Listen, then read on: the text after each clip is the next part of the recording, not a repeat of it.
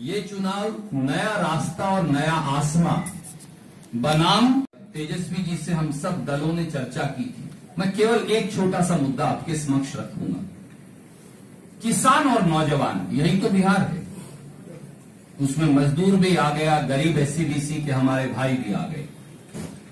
खेती पर एक सुनियोजित तरीके से मोदी सरकार ने हमला बोला है।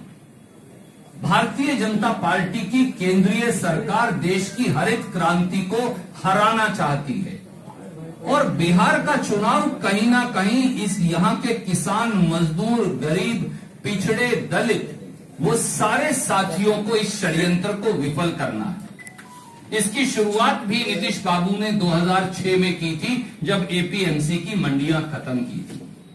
क्या मोदी जी और नीतीश बाबू ये बताएँगे कि अगर सारी मंडियाँ खत्म हो जाएँ, अगर कुछ रहे ही ना तो किसान को एमएसपी यानी न्यूनतम समर्थन मूल्य कैसे मिलेगा?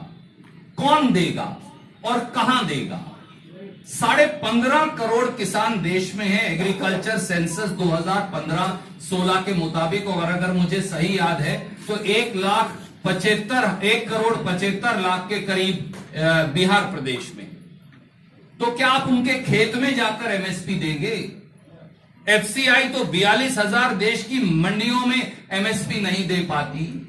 तो खेत में कैसे देंगे? इसीलिए आपने वादा किया है कि जिस दिन हमारी सरकार बनेगी, पहले विधानसभा के सत्र में इन तीनों कृषि विरोधी काले कानूनों को खत्म करने का कानून पारित तेजस्वी जी के नेतृत्व में हमारी महागठबंधन की सरकार करेगी। और किसान को गुलामी की इस बेड़ियों से जो भाजपा ने डाली है, उनसे आज़ादी दिलवाएँगे।